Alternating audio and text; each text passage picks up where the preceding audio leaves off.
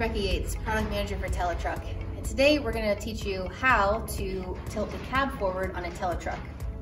So normal daily service access can be gotten through this side panel on a Teletruk. So very easy to get to, ground level, don't have to reach over anything.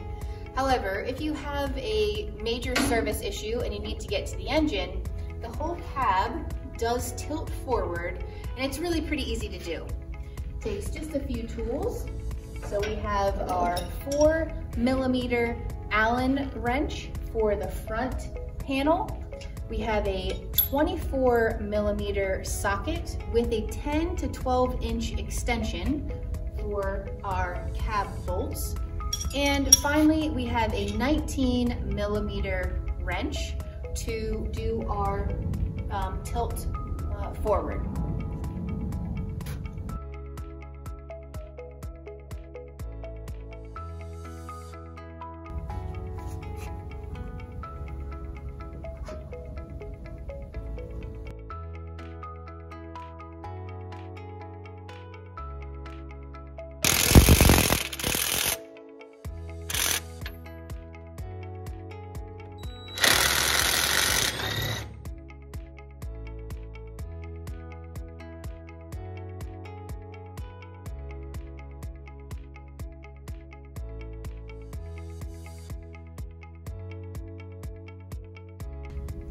So it takes just a few simple steps to raise the cab.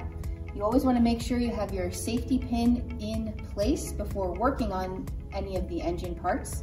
But again, you've got full access to your engine, your cooling pack, and it's really easy to put it back the way it was. Just reverse the steps.